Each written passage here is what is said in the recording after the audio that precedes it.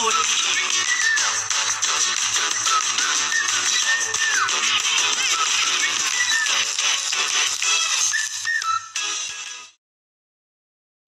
Fusion food by ज्योतीमध्ये आपलं स्वागत आहे. मी आज तुम्हाला एक मजेदार रेसिपी दाखवणार आहे. शेवभाजी. शेवभाजी कशी करायची हे दाखवणार आहे. शेवभाजी ही जवळपास सगळ्यांनाच आवडते. ती आपण नेहमी हॉटेलमध्ये खातो धाब्यावर खातो. पण मी आज तुम्हाला घरच्या घरी घरच्या साहित्यापासून कशी बनवायची ते दाखवणार आहे. चला आपण कशी करायची ते पाहूया. मी हे घाटी शेव घेतलेला आहे बारीक असं थोडंसं जाड असा.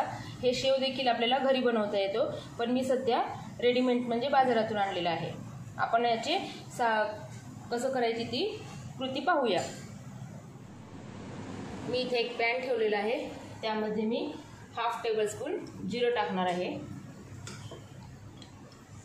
मसाले मसालेदार भाजी म्हटलं तर मसाले देखील आपण योग्य प्रमाणात त्याचं वापरलं पाहिजे. सगळे मसाले मिळाल्यानंतर त्याची क्वांटिटी खूप जास्त होते. आपण असं जे थोडं थोडं टाकतो ते कळत नाही. तुम्ही एक वेळेस काय करा सगळे मसाले ज्या प्रमाणाने सांगितले ते वाटीमध्ये जमा करा. मग आपल्याला कळेल की मसाले किती असतात. त्याच्यामुळं आपण प्रमाणानेच मसाले टाकायला पाहिजे. एकदम जास्त मसाले वापरले नाही पाहिजे. जेणेकरून आपल्या शरीराला देखील हानिकारक होतं. परत ॲसिडिटीचा प्रॉब्लेम होतो.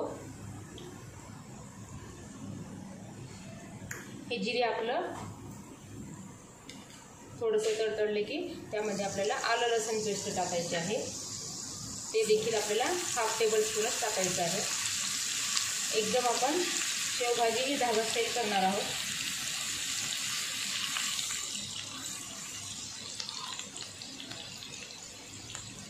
आता मात्र गॅसची फ्लेम कमी करायला पाहिजे. यामध्ये आता मी हे मसाले घेतलेले आहे. अर्धा अर्धाच्या कमी शहाजिरा घेतलेला आहे. शहाजिरी दा शहाजिरा दालचिनी तेजपत्ता याची मी पावडर घेतलेली आहे. ते देखील अर्धा चमच्याच्या कमीच घेतलेला आहे. धना पावडर घेतलेला आहे अर्धा चमचा अर्धा टेबलस्पून शा दालचिनी दोन चिमूट घेतलेली आहे. एक टेबलस्पून मी जिरा पावडर हे सगळे मसाले मी एकदाच टाकणार आहे. वेगवेगळे टाकायची गरज नाही याला. गॅसची फ्लेम एकदम कमी करायची आहे. हे मसाले कसे एकदम बारीक असतात तेल आपलं तापलेलं असतं त्यामुळे हे एकदम करपलं जातं. त्याच्यामुळं आपण करपू नाही द्यायचं. मी तीन कांदे मिक्सर करून घेतलेले आहे.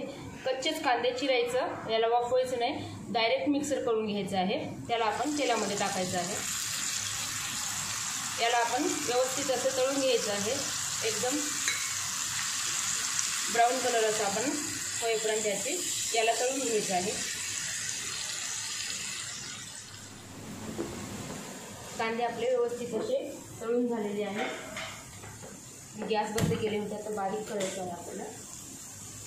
यामध्ये मी एक आलू बटाटा घेतलेला आहे उकडून म्हणजे बॉईल करून साल काढून त्याला मी मऊ करून घेतलेला आहे. शेवभाजीची जी आपण तरी करणार आहोत त्याच्यासाठी हे आवश्यक आहे.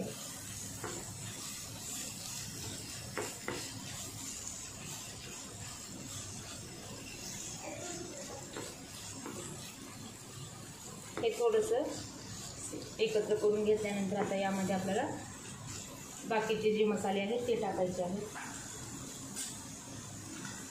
तर एकदम आपल्याला झणझणीत अशी शेवभाजीची तरी करायची म्हणजे रस्सा करायचा आहे. मी एक टेबलस्पून वरी थोडंसं लाल तिखट टाकलेलं आहे. हळद टाकलेलं आहे.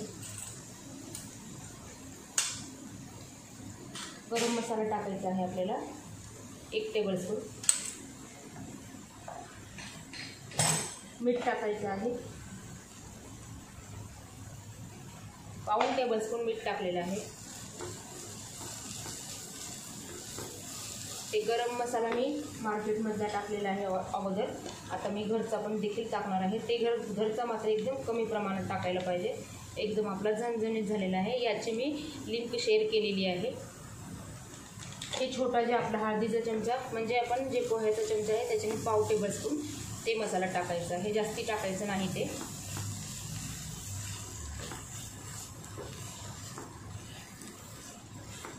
व्यवस्थित आपण तेलामध्ये हे टोमॅटो टाकण्याच्या अगोदरच हे आपल्याला व्यवस्थित असं भाजून घ्यायचं आहे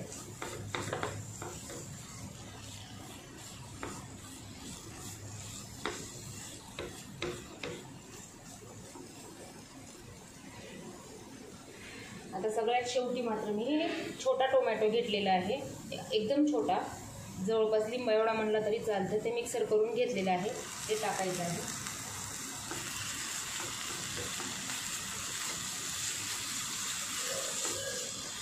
हे देखील आपल्याला व्यवस्थित भाजून घ्यायचं आहे. एक ऑप्शनमध्ये मसाला मी टाकणार आहे. ते मसाला आपल्याकडे असला तर टाकायचं. नाही तर नाही. काहीच गरज नाही टाकायची आव आवश्यकता नाही. त्याच्याने काही टेस्ट बघ बदलत नाही. मी तुम्हाला टाकत आहे हे शेवभाजीचा मसाला आहे.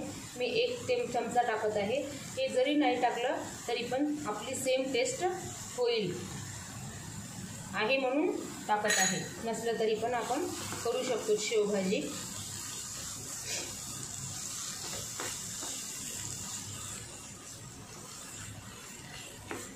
पहा हे सगळं व्यवस्थित आपले मसाले भाजलेले आहेत. आता आपल्याला मध्ये पाणी टाकायचं आहे.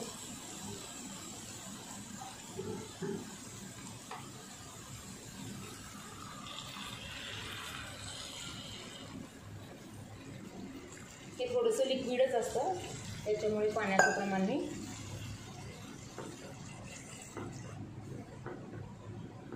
हे पहा हे अशा प्रकारेच लिक्विड असतं. जास्ती घट्ट नसतं. हे याच्यामध्ये आपल्याला शेव घालून ही भाजी सर्व करायची असते.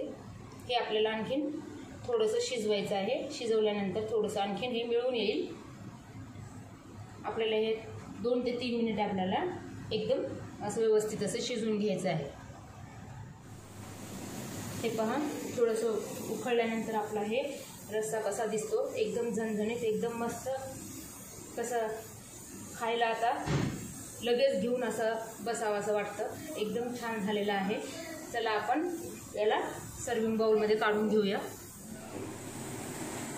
हे पहा आपली शेवभाजीची तरी म्हणजे तयार झालेली आहे म्हणजे ग्रेव्ही तयार झालेली आहे. एकदम मस्त अशी आपली शेवभाजी तयार झालेली आहे. हे शेव मात्र ज्यावेळेस आपण ताटामध्ये ही भाजी सर्व करतो त्यावेळेस साईडच्या साईडला प्लेटमध्ये ही शेव द्यायची.